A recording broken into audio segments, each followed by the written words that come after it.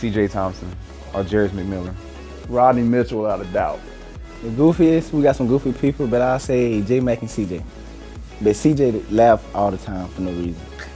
None other than Rodney. What's Rodney's last name? Mitchell. Rodney Mitchell. Right. I forgot the last name, my bad. Rodney Mitchell. Rodney Mitchell. Biggest goofball.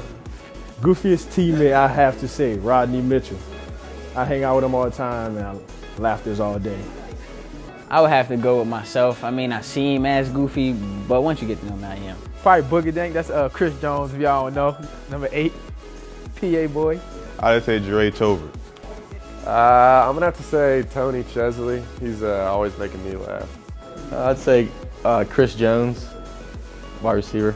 Goofiest teammate, Chris Jones. Uh, he's making me laugh right now, so I'm gonna say Richie Sampson.